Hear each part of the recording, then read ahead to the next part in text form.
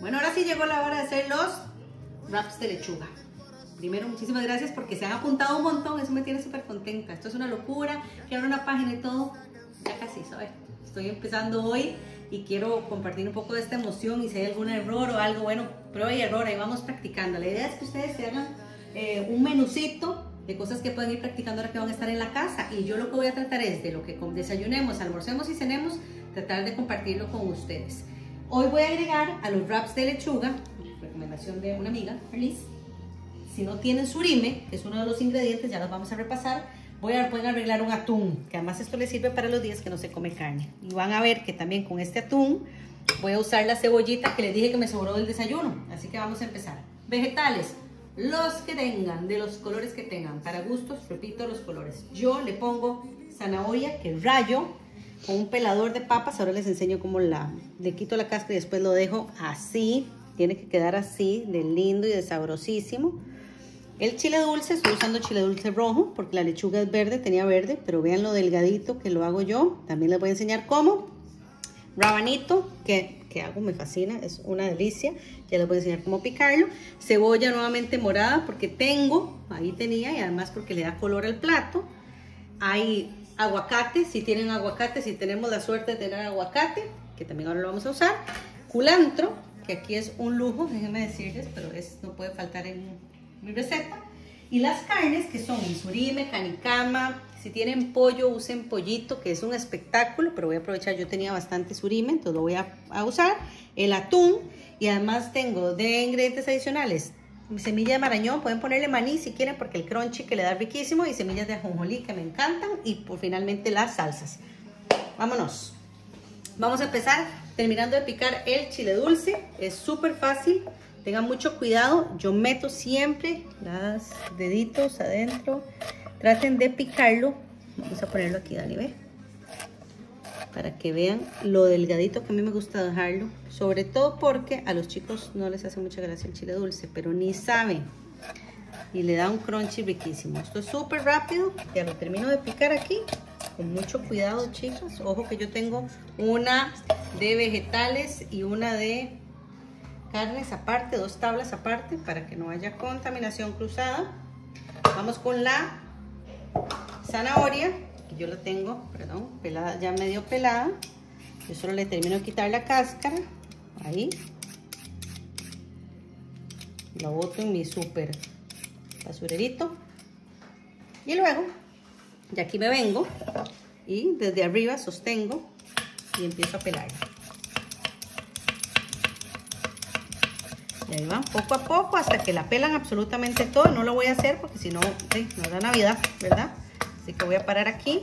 Lo que quiero es que lo que quiero que vean es cómo queda así de delgadita. Vamos a poner esto aquí. Y luego vamos con la cebolla. Ya no ocupo más el pelador, lo voy a poner aquí en la esquinita. Vamos con la cebolla. Igual súper delgada, moradita. Voy siempre con mucho cuidado Vean el grosor, ¿verdad? Si no les gusta tan... Ah, otra opción con la cebolla es que la, que la cocinen, que la, que la cristalicen un toque. Eso es riquísimo, queda también sabrosísima, le da un sabor diferente y no sienten tanto de lo fuerte del sabor de la cebollita. Pero es que a mí me encanta, en esta casa comemos de todo. Se aprendió a comer de todo y eso es una maravilla, ¿ok? Lista la cebolla, voy con el aguacate, vamos a ver. Este aguacate nos salió bueno. Un tip que me di cuenta en un programa también de televisión. Una forma de partirlo y pelarlo más fácil. Aquí el aguacate está muy maduro. Pero normalmente debería dejar de que se pele la, la cáscara. Vean qué rico como se viene. Entonces nada más se pela. Listo. Y lo pelan. Aquí. Van a ver cómo bien delgadito porque si no la, eh, la, lechuga no puede ir con trozos muy gruesos porque si no se rompe, no aguanta el peso. Aquí está, el aguacate exquisito. Vamos a ponerlo en un plato por aquí. Vean cómo vamos ya con el montón de cosas, qué delicia. Si no hay aguacate, nada pasa. ¿Ok? No hay estrés. Nada es, nada es obligatorio. Voy a lavarme un toquecito las manos. Ya voy. No enseñemos esta barbaridad porque esto está sucísimo. De las salsas. Ojo que todo esto es hecho hoy. primer día, prueba y error, como les digo, ¿ok? Vamos con el... Vamos con el rábano. Yo le corto la base y la punta. Traten de hacerle eso, una basecita, para que entonces no se les mueva, ven, a la hora de cortarlo, ¿ok? Delgadito, con, con cáscara, así súper bien lavado. Esto le da un sabor exquisito. No lo voy a picar todo tampoco. Lo que quiero es que vean cómo queda delgado. Así. Y luego ustedes nada más lo juntan un poquito sin mucha precisión y nada más lo cortan así súper delgadito para que le dé ese sabor exquisito que tiene. Yo aprendí a comer rábano por papi, me encanta. Le encontramos el gusto. ¡Estamos! Ya tenía yo el culantro, había arrancado unas ramitas de culantro, ¿ok? Pueden comérselo así con la ramita o bien pueden quitarle la ramita, bien la base bien picadito y se lo ponen al, a la lechuga.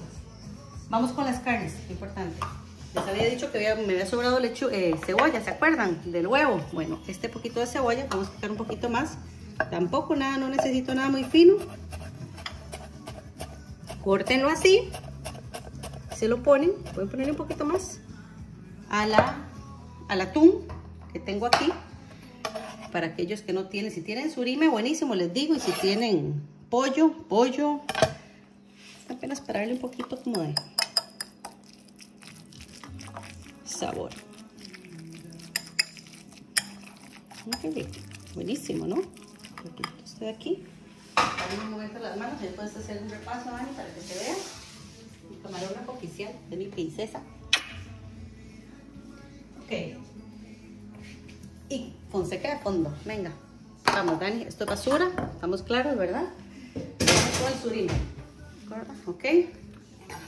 Agarro el surime. Son estas tiras. La parto en la mitad. Nuevamente, dedo metido, las puntas metidas. Vean qué fácil que es. Lo pueden hacer más delgadito si quieren, pero así queda, vean, exquisito. Él mismo, él solito inclusive se, se desprende, ¿lo ven? ¡Qué delicia! Ok, voy, aquí ya tengo todo. Y ahora sí, vamos a armar. ¡Qué rico! Vamos a ver. Vamos a agarrar una lechuga. Vamos a agarrar esta. Vamos a ver. Ok, está la lechuga. Tengo este tipo de lechuga. Lo importante es que la hoja sea grande, ¿la ven? Que sea, que resista, sea una hoja que pueda uno doblar, aunque esté rota, nada pasa. Puede ser que se desarme un poquito, no importa. Okay. La base es su mano, ¿ok? Empiecen con lo que ustedes quieran. A ver, un tenedor. Hacerlo como la de atún. No hemos comido, nosotros no hemos hecho de atún nunca, ¿verdad? No.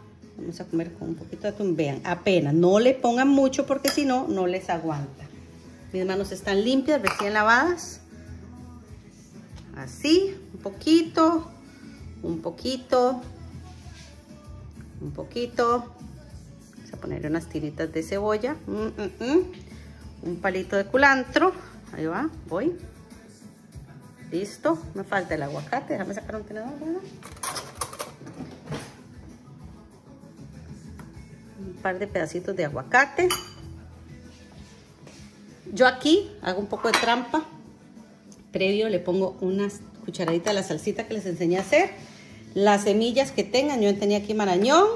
Si tienen maní, pueden ponerles también semillas de ajonjolí. Y ya le puse todo, ¿verdad, gorda? Y ahora, nada más, ustedes hacen un boquito. Vean qué lindura. Y bueno, lo único que queda es, ¿listos? Mm. Mm, mm,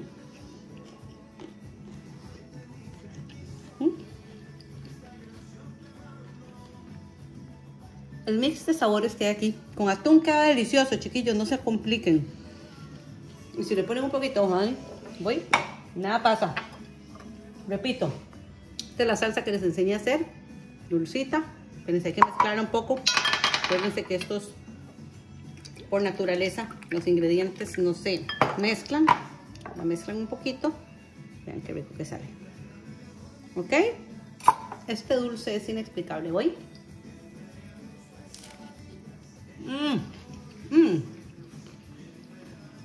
Una rica.